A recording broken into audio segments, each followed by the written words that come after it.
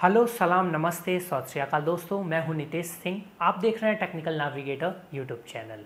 आज इस वीडियो में मैं आपके लिए एक बहुत ही डिफरेंट तरह की ऑपरेटिंग सिस्टम लेके आया हूँ, जिसका नाम है जोरिन ओएस सो बेसिकली अगर आप विंडोज़ मैक या लिनक्स के फ्लेवर्स के एक ही तरह के यूआई और इंटरफेस देख देख के टायर्ड हो चुके हैं तो आपको ये ऑपरेटिंग सिस्टम ज़रूर से ज़रूर यूज़ करना चाहिए। ये जो ओएस है, ये यूबन बेस्ड है and Ubuntu repository use करती है एंड ऐप के थ्रू आप जितने भी प्रोग्राम्स पैकेजेज है, वो आप इंस्टॉल कर सकते हैं, जैसे कि आप दूसरे डेवियन फ्लेवर्स में कर पाते हैं लाइक काली लिनक्स हो गया या पैरट ओएस हो गई या यूबन हो गई। ये जो ऑपरेटिंग सिस्टम है गाइज़ आप इसको वी में भी इंस्टॉल कर सकते हैं अपने वर्चुअल मशीन के ऊपर या फिर आप अपने पेनड्राइव को बूटेबल भी क्रिएट करके आप पेन ड्राइव से बूट करके आप इसको डायरेक्टली रन कर सकते हैं। आप इसको डायरेक्टली ट्राई कर सकते हैं लाइक यू वन टू और इसको आप अपने हार्डवेयर या फिर वर्चुअल हार्डवेयर पे भी इंस्टॉल करके इसका यूज़ कर सकते हैं। सो so बेसिकली मैं आपको इस ओएस के बारे में बताने वाला हूँ। एंड इस ओएस की सबसे खास बात यह है कि आपको Windows Mac OS and Linux तीनों का लुक एंड फील देगा। एंड गाइज़ आपका जो ये ओएस है, ये काफ़ी स्मूथ चलने वाला है। सो so इस वीडियो में मैं आपको इसका डेमो प्रोवाइड करने वाला हूँ, इसके फीचर्स के बारे में। एंड ये किस तरह का दिखता है, कितना स्मूथ काम करता है actually we are going to see it on our virtual machine so let's go to the laptop screen and let's explore it okay guys so let's have a look on the Zorin OS website यहाँ से आप इस website से Zorin OS की ISO image file download कर सकते हैं। And ये अपने आप को विंडोज़ एंड मैक ओएस का ऑल्टरनेटिव बताता है, काफ़ी faster secure and privacy concern OS भी अपने आप को ये क्लेम करती है। गाइज़ ये जो ऑपरेटिंग सिस्टम है, इसका यूआई तो काफ़ी काफ़ी क्लीन है इंटरफेस काफ़ी अच्छा है। I have use myself and ये जो ऑपरेटिंग सिस्टम है, इसकी रिक्वायरमेंट्स जो है, वो काफ़ी ज़्यादा इंटरेस्टिंग है। काफ़ी कम रिक्वायरमेंट्स में आप इसको इंस्टॉल कर पाते हैं। अगर आप इसकी रिक्वायरमेंट्स को देखते हैं तो आपको सिर्फ़ और सिर्फ़ one gigahertz of dual core Intel और M D sixty four bit processor चाहिए टू गीगाबाइट्स ऑफ़ रैम चाहिए मिनिमम रिक्वायरमेंट्स है ये।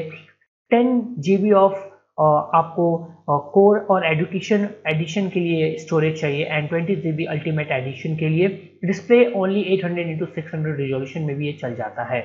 इसका लाइट आईएसओ इमेज अगर डाउनलोड करते हैं तो only 700 megahertz single core Intel M D sixty four और 32 bit processor like old PCs and laptop के लिए 512 megabytes of RAM 8 gigabytes of storage and 640 into four resolution आपको चाहिए। बस इसको रन करने के लिए। तो ये वाकई में काफ़ी मुझे इंटरेस्टिंग लगा इसकी जो मिनिमम सिस्टम रिक्वायरमेंट्स है।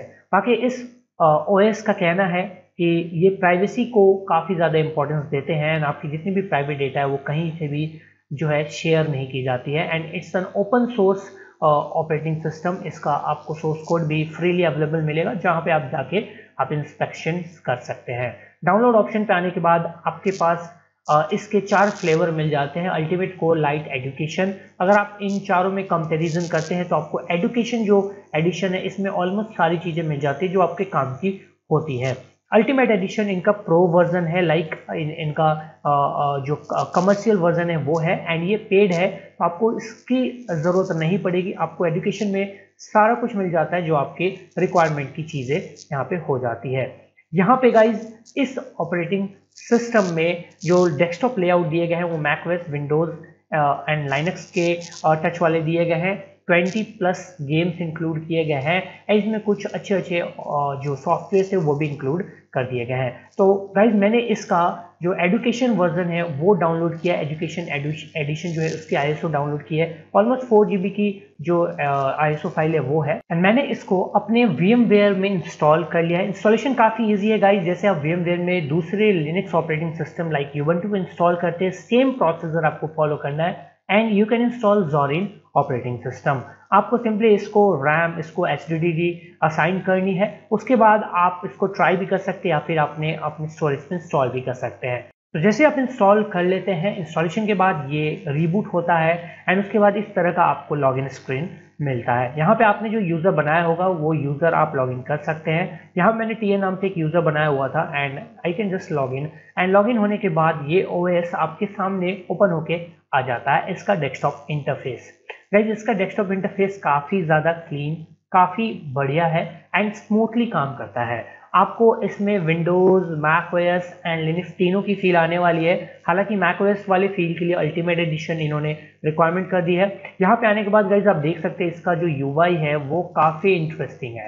यहाँ पे विंडोज़ की तरह आपको एक स्टार्ट पैनल मिल जाता है, एक टास्क बार मिल जाती है, जहाँ पे आप आके और भी सेटिंग्स वगैरह को चेकआउट कर सकते हैं। फ़ाइल मैनेजर की तरह आपको यहाँ पे लिनक्स फ्लेवर का मिल जाता है, फ़ाइल मैनेजर, जिस तरह से आप टू काले लिनक्स में आपने देखा होगा, उस तरह का कुछ यहाँ पे आपको मिल जाता है यहाँ देखने को इसके फ़ाइल मैनेजर। यहाँ पे आप देख सकते हैं जो डायरेक्टरी वगैरह है, जो आपको टू लिनक्स या फिर आपको काले लिनक्स में देखने को मिल जाता है। वहाँ इस तरह से आप राइट क्लिक करके टर्मिनल भी आपको एक छोटा सा, प्यारा सा टर्मिनल मिल जाता है, जहाँ पे आप अपने कमांड्स को रन कर सकते हैं। लिनक्स के सारे कमांड्स यहाँ पे ऑलमोस्ट रन हो जाएँगे बिकॉज़ ये यूबन टू रेपोजिटरी यूज़ करता है Ubuntu based operating system है डेट्स वाई तो अगर हम आप इसके रेपोजिटरी की पाथ को चेकआउट करेंगे तो आपको पता चल जाएगा कि हाँ यहाँ पे यूबन टू रेपोजिटरी का यूज़ किया गया है so let's go there so sources of list को आप देखने के बाद देख सकते हैं यहाँ पे। जितने भी रेपोजिटरी यूज़ हैं, वो सारे यूबन के हैं। यानी कि आपके पास यूबन का पूरा पैकेज लिस्ट मिल जाता है, आप आराम से इंस्टॉल कर सकते हैं एंड एंजॉय कर सकते हैं। इसमें आप आएँगे गाइज़ तो इसमें सबसे एक अच्छी चीज़ मुझे लगी इनका सॉफ्टवेयर सेक्शन सॉफ्टवेयर सेक्शन पे जब आप ओपन करते हैं इस सेक्शन को तो यहाँ पे काफ़ी सारे सॉफ्टवेयर की लिस्ट आपको मिल जाती है एंड बेसिकली आप इसको डायरेक्टली वन क्लिक इंस्टॉल कर सकते हैं। लाइक like आपको डिस्कॉर्ड इंस्टॉल करना है, आप इसको डिस्कॉर्ड को इंस्टॉल कर सकते हैं और भी बहुत सारे यहाँ पे सॉफ्टवेयर्स हैं बहुत सारी यूटिलिटीज़ है लाइक ऑडियो वीडियो यूटिलिटीज़ के सॉफ्टवेयर्स आपको कैटेगरी वाइज यहाँ पे मिल जाता है। ये काफ़ी मुझे इंटरेस्टिंग लगा लाइक कैटेगरी वाइज आप सॉफ्टवेयर को इंस्टॉल कर सकते हैं यूज़ कर सकते हैं। लाइक ये ऑडियो एंड वीडियो वाले सेक्शन है तो यहाँ पे ऑडियो वीडियो से रिलेटेड जितने भी सॉफ्टवेयर लाइक ओडासिटी हो गया लाइक आपका रील सी मीडिया प्लेयर हो गया कोई से भी जो ऑडियो वीडियो से रिलेटेड है, ये आपको यहाँ पे मिल जाती है। दूसरी कम्युनिकेशन एंड न्यूज़ है productivity games graphics photography and addons भी आपको यहाँ पे मिल जाते हैं। आप एडोन्स चाहें तो आप एडोन्स भी इसमें इंस्टॉल कर सकते हैं। यहाँ पे इंस्टॉल सेक्शन में जाके आप सारे सॉफ्टवेयर के लिस्ट जो भी इंस्टॉल्ड है वो देख सकते हैं। एंड यहाँ से ही आप इसको अनइंस्टॉल भी कर सकते हैं। साथ ही में जैसे लेट सपोज़ मुझे क्रोम इंस्टॉल करना है तो मैं यहाँ से डायरेक्टली क्रोम इंस्टॉल भी कर सकता हूँ। Simply I have to just search Chrome बिल्कुल, यहाँ पे क्रोमियम सॉफ्टवेयर इनके पास अवेलेबल है। मैंने ऑलरेडी इंस्टॉल कर लिया है। इंस्टॉल करने के बाद जस्ट आपको यहाँ पे लॉन्च पे क्लिक करना है and Chromium browser web browser हमारा लॉन्च हो जाएगा। बिना किसी टेंशन के लाइनिक्स में क्रोमियम को लॉन्च करने के लिए रूट वाले काफ़ी पंगे होते हैं, काफ़ी प्रॉब्लम्स आती है बट यहाँ पे कोई प्रॉब्लम नहीं आने वाला है। डायरेक्टली रन होगा एंड बहुत ही स्मूथली काम भी ये करेगा। तो ये काफ़ी इंटरेस्टिंग मुझे लगा इस ऑपरेटिंग सिस्टम के बारे में, यानी लिनक्स विंडोज़ मैक सब मिला जुला के यहाँ पे दिया हुआ है। लाइक यहाँ पे आप जाते हैं यहाँ पे तो आप यहाँ को, यहाँ पे इसके मेन्यू में, यहाँ आपको सेक्शन में इंटरनेट वाले सेक्शन में यहाँ पे आपको फायरफॉक्स वेब ब्राउज़र भी मिल जाता है, जो कि आप डायरेक्टली यहाँ से ओपन कर सकते हैं एंड इसको यूज़ कर सकते हैं। गाइज़ अब इसमें और भी बहुत सारे सॉफ्टवेयर हैं जो आप यूज़ कर सकते हैं यूटिलाइज कर सकते हैं। इस ऑपरेटिंग सिस्टम की जितने भी फंक्शनैलिटी है, वो मुझे काफ़ी ज़्यादा अच्छे लगे। कि स्टार्ट पैनल में एक्सेसरीज मेन्यू के अंदर काफ़ी सारे आपको यहाँ पे टूल्स मिल जाते हैं। एडुकेशन के अंदर भी काफ़ी सारे टूल्स मिलते हैं। गेम्स के अंदर गेम्स मिल जाती है। ऑफ़िस के अंदर ऑफ़िस वाले टूल्स प्रोग्रामिंग टूल्स साइंस से related tools sound video system tools utilities वगैरह मिल जाते हैं। सेटिंग्स आपको कुछ इस तरह का देखने को मिल जाता है, जहाँ पे आपको फ़ोन वाली या टैबलेट वाली थोड़ी फीलिंग आ जाएगी यहाँ पे।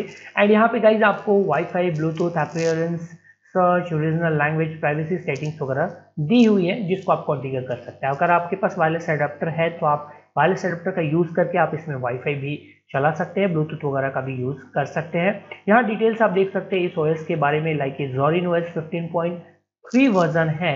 एंड यहाँ पे गई ये 64 बिट आर्किटेक्चर पे रन हो रही है। एंड ये काफ़ी इंटरेस्टिंग आप यहाँ पे चेक फॉर अपडेट्स करके, जो भी लेटेस्ट अपडेट्स इस मशीन की आपको मिलती है, वो आप इंस्टॉल कर सकते हैं। यहाँ पे फ़िलहाल कोई भी सॉफ्टवेयर अपडेट यहाँ फ़िलहाल नहीं है। अगर कोई अपडेट होती है तो आपको यहाँ पे इंस्टॉलेशन के लिए ऑप्शन आ जाता है। तो ये क्लीन इंटरफेस है या गाइज़ आप देख सकते हैं। ये ऑपरेटिंग सिस्टम मुझे काफ़ी इंटरेस्टिंग लगा। आप इसको डेली यूज़ के लिए यूज़ कर सकते हैं। लाइक काइंड ऑफ़ अगर आप मैक या फिर लिनक्स या फिर विंडोज़ से थोड़ा सा टायर्ड हैं, थोड़ा डिफरेंट कुछ different look and feel try करना चाहते हैं तो आप कर सकते हैं।